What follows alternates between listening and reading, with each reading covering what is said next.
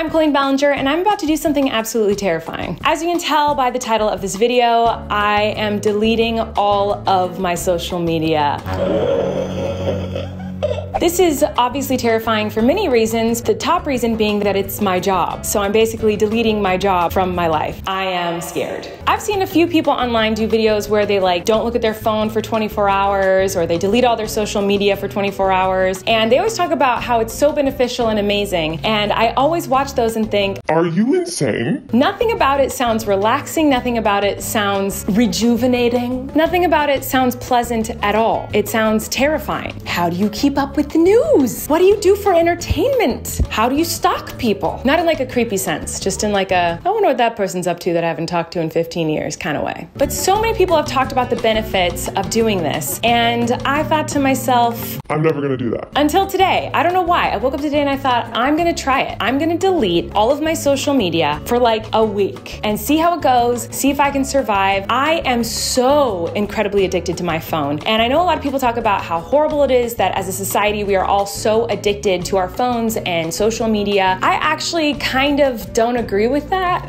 I think that it can be bad to be addicted to your phone. I mean, you want to make sure that you're being social and aware of your surroundings and not just sucked into your phone. But I think there are so many benefits from social media and our cell phones. I have found some of my best friends through social media. My entire career is through social media. That's how I get my news. That's how I find my entertainment. That's how I get up to date with kind of everything in life is through social media, through my phone. So while I see what people are saying when they're like, Ah, being addicted to social media is bad. Being addicted to your phone is so bad. Like, I totally see what you're saying, but at the same time, like, I don't feel that way. But people talk about how it's so beneficial to not have your phone and not use social media. I think the main reason why I've never really had the urge to try out not having social media or not using my phone for a while is because I grew up without this stuff. So I remember what it was like to not have a cell phone. I remember what it was like to have no information coming to me through the internet on my phone. I remember what it was like to be bored and not have things like silly TikToks to make me laugh or to inspire my creativity. Those are things that like I love and I don't miss not having them in my life. Now, social media is my job. So I think I might schedule some tweets, some posts, some videos just so that there's something going up on the internet so people aren't worried because I do post very frequently, like literally every single day frequently. So I think I'm going to schedule some stuff so that people don't think I like disappeared off the face the planet, but I will not be using my phone and I'm to try for a week. I don't think it's gonna happen. I don't believe in myself, guys. What a surprise. I'm gonna try it though. We're gonna see how this goes, and I will see you guys in a week, but probably more likely in 24 hours. Okay, here we go. Day one of not using social media, deleting all of my social media. Basically, I already am failing because it is 2 p.m. almost, and I haven't even started the challenge yet. I already suck at this. But I've just been running around like crazy. I haven't had a chance to pick up my camera and film anything yet. I've used my phone very minimally today, but I did use it to promote my video that came out today on social media, and I also used it to schedule tweets for the week. So I haven't used it that much. I'm going to take, this is my the front page of my phone. These are my apps. Um, I don't even know how to use most of them, but I do use this top row the most. And sometimes I pop down here and use that Twitter. Okay.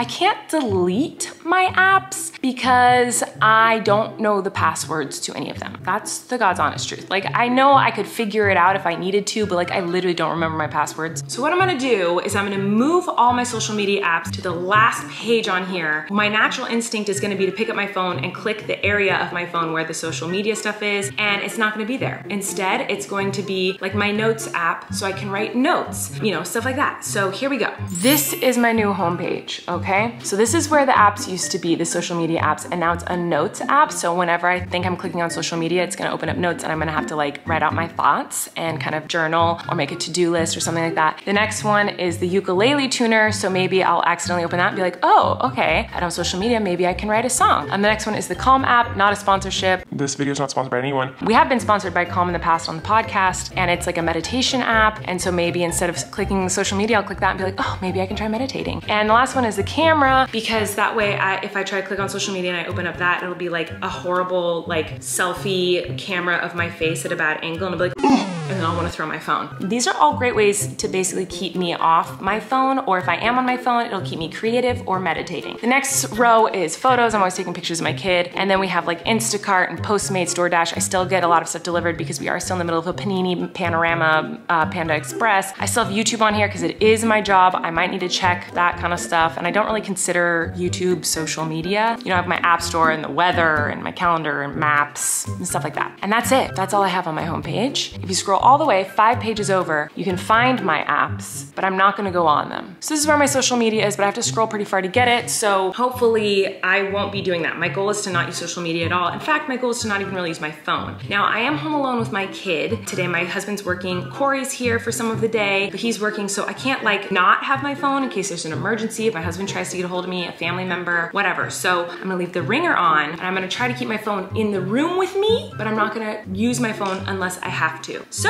Flynn's taking his nap right now. I'm watching him on the monitor and this is a time where I'd usually like veg out, look at my phone, look at TikToks, maybe make a couple TikToks. Um, I edit my video for the day, which I still need to go do. So maybe I'll take a shower. This is already changing my life. I've been doing it for five minutes. Am I gonna shower? I could do laundry. Oh my God. Wait, is this actually gonna be really good for me? I've been doing this for two minutes. Oh my God. Okay, I think I'm gonna shower. Oh my God, you guys. I took a shower and I put a load of laundry in and I just listened to like a 20 minute podcast on ADHD and dermatillomania, which are things I've been struggling with. I've done all that in the last like 45 minutes just because I wasn't looking at social media. That's crazy. Yeah, I'm already impressed with how well this is going. I'm not gonna lie guys, this is weird. So I've been watching a lot of Naked and Afraid and that's kind of how I feel right now. Like I feel like I should edit the next little portion of this video just like how they edit Naked and Afraid.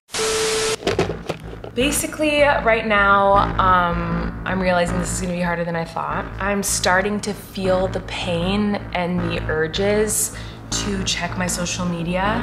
I am scared. I don't know what I'm going to do to feed that hunger. I'm starting to hear like these phantom notifications from my phone that aren't even going off. Like I'm starting to like, I feel like hallucinate the sounds of social media notifications. Hello? I don't know what I'm doing. Oh my God. I swear I keep hearing it go off. I don't know what I'm, I don't know what. Social media.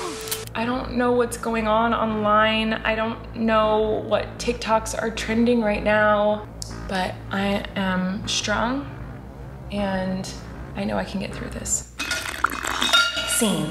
Anyway, I really am feeling the urges to look at my phone. So I played in the backyard with Flynn and we played in the sprinkler and we played with water guns. Uh, we looked at the butterflies that we have that just hatched out of their cocoons. We've been playing with trucks. Um, we had snacks, we had lunch. We've, we've done a lot together today. Sans the phone. There are times where like I found myself in the backyard when he was like kind of playing by himself in the sprinkler and I was sitting two feet from him, but that was a time where I normally would have pulled up my phone and like checked Twitter or Instagram and I was like, I can't. This is weird. And when I think about it, when I think about how I don't know what's going on on social media, it's kind of stressful. Like I posted a video today and I haven't gone on Twitter to see like what people are saying about it and if they like it and what I should change next time. You know, I have no idea how people are responding to the video I posted. I'm about to upload my vlog for the day and I have no idea what people are gonna say. Usually I upload a video and then I look on Twitter and see if people like it, if I should do more content like that, what people's favorite parts are, if people are making memes of like different things from the videos. Like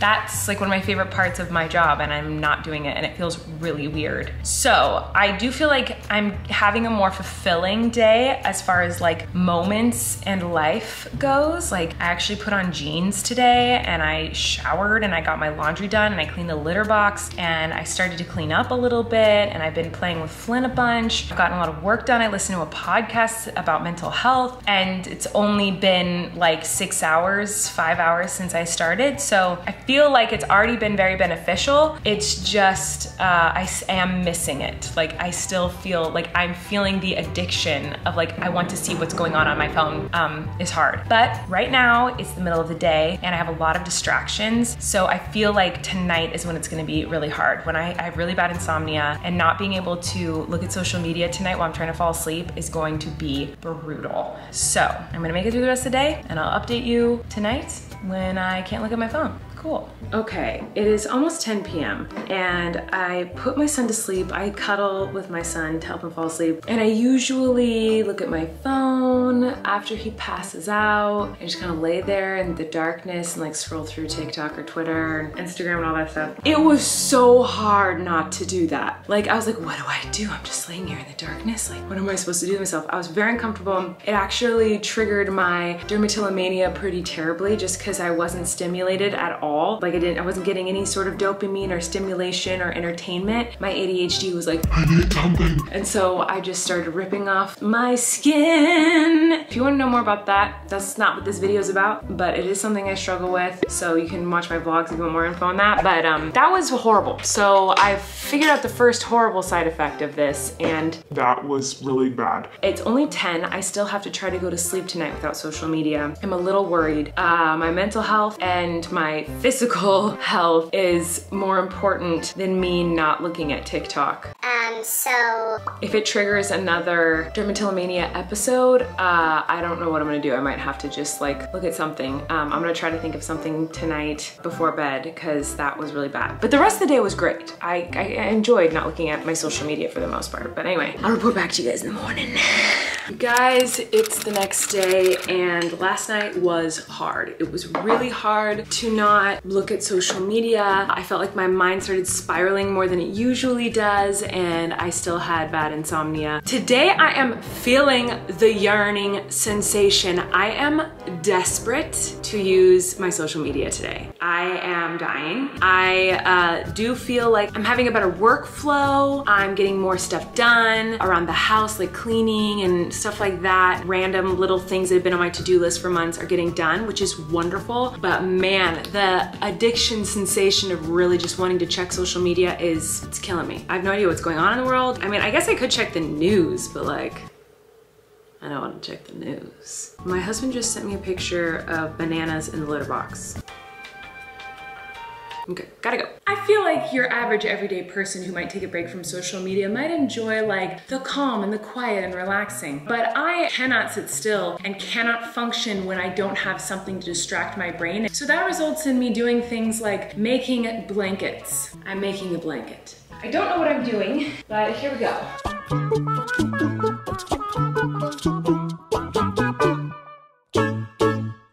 I did it. I made a blanket. Now it's almost midnight. It's night two of trying to figure out how to sleep without social media. Once again, I feel like someone on Naked and Afraid where I'm like, how am I gonna sleep without looking at random TikToks for hours? How? I don't, I don't know what's going on online. I don't know what's trending. I don't know what pictures people have posted to Instagram. I can't see anyone's like vaccination photos where they post that they got vaccinated. I can't see random millennials repost all of their birthday notifications on their Insta stories that they were tagged in. How will I survive? Okay, clearly this is affecting me mentally. When I go to bed, I'll report back in the morning. Okay, day three of no social media, and I totally failed. I'm a lonely cat's hair on the lip of an angel. I may or may not have like looked at some TikToks, but just for a little bit, just for like five minutes, and then I stopped myself. So I totally cheated. And then I also last night had a really, really bad night. It made like my anxiety and everything worse. So now I'm kind of struggling with like, what's more important here? Me doing this video about social media or me not ripping off all my skin? Also, I feel so disconnected from my audience. Like, I think that might be the worst part about all this is that like, I hate not knowing what people are talking about, what people wanna see next, what people are enjoying about videos, what they don't like about videos, what, oh my goodness. Is that my Mr. Flynn? Can I get a hug, please? look, What's that? a bucket too. Can I have a hug? Oh, hugs, thank you. We're gonna go play trucks. See you later. Well, I failed. I got three days, guys, okay? But I was feeling bored and anxious, and I just accidentally opened up my social media and accidentally was on it for a long time. So I failed, okay? I failed. But I feel like I learned a lot of valuable lessons in the last three days, and I do feel like I'm gonna spend a lot less time on social media now than I used to just because I see the benefits of it, but I also see the benefits of being on it. So I just think I need to like rearrange how often I'm on. But I did spend a long time on the internet and I totally failed. So I did not go a week. Three days is pretty good, maybe? Okay, so we all knew I wasn't gonna make it a week. Are we surprised? No. But I am very proud of myself for how long I did make it, even though it might not seem like that big of a deal to most of you. It was a big deal to me and it was enjoyable. I think the most surprising realization is that even though social media is my job, taking away social media made me better at my job. There were so many less distractions. When I was bored, I couldn't go onto TikTok and scroll for an hour. I was like, what am I gonna do? And I would sit down and plan and work. I thought I needed social media to get work done, but I actually feel like social media has been hindering me from getting work done. I had deeper conversations with my husband, with my best friend, with Flynn, even. I do feel like prior to this, whenever I'm with Flynn, I really am barely ever on my phone. Like when I'm with Flynn, it is very much Flynn mama time. So it didn't change that too much. There are times where he falls asleep and then I get on my phone. And instead of that, he fell asleep and I would just cuddle him and be in that moment with him and then quickly get up and go do something. Um, it was weird not using my phone. I didn't necessarily like it, but I feel like I learned a lot not having my phone and I appreciate the time time that I had not using my social media. I actually think I'm gonna give myself limits now on how much and how often I should be on social media per day. I'm not very good with rules and structure, so I don't know how long this will last, but I think it would be really beneficial for me to put a limit on every day how much I can be on my social media apps, like an hour per day or something like that. That way it ensures that I'm not wasting time on social media. It's one thing to use social media for work and to be posting stuff and to stay up to date on current events and what your friends are up to, especially during a pandemic. It's nice to like see other human beings and what they're up to since I'm still not seeing anyone in person yet. But I did realize that I waste a lot of time on my phone as well as work on my phone. So I'm actually really excited to try and like shift my daily life and how often I'm on my phone. I think it will improve my life greatly. I strongly recommend everyone do this. I know I was super skeptical at the beginning of this video, but um, I really did see so many benefits. And I'm not not saying social media is bad. I'm not saying being on your phone is bad because I actually do not think that at all. There were a lot of moments where I really missed looking at my phone. I felt out of the loop. I wanted to know what my friends were up to. I missed posting in real time. It made me feel way less connected to you guys as my audience. I love chatting with you. But that being said, I do recommend everyone try this, even if it's just for a day, even if it's just for an hour. Just be like, okay, from 12 to 1 today, I'm locking my phone in my room. For some people, that would seem like that's not that hard. But for some people, that's really difficult. So try not looking at any social media for a week, a day, um, every other day, something like that, and just see what happens. I feel like it opened up a side of my brain that's kind of been sleeping for a while to force myself to be creative. That side of my brain that I had to use a lot as a kid when I didn't have a phone and I didn't have social media for most of my life. That side was like, I'm bored. Uh, I'm gonna go do a craft. I'm gonna go write. I'm gonna go work. I'm gonna go see a friend. That side of my brain that where I'm forced to do something to entertain my brain, that was awoken because with social media, if I'm bored, I open up TikTok. With that gone, I was forced to be creative, and that was really fun. Tell me what you guys think in the comments below. Have you ever tried this? Are you going to try it? Do you think social media addiction is bad? Do you think it's who cares? Like, are you cool with it? How do you feel? I wanna know from you guys how you feel about this. If you wanna try this, if you have tried this, things you've learned from it. I wanna know all the things. I miss you after not using the internet. So please leave lots of comments for me to read. I want to read them all and, and remember how wonderful it is to be friends with you guys. I'll see you guys next time. I love ya. And don't forget to subscribe and all the things. Okay, bye. You can relax. Colleen and Erik have a podcast. The world is scary and we're locked in our home, but now we have big microphones. So you can relax. That's the name of our podcast.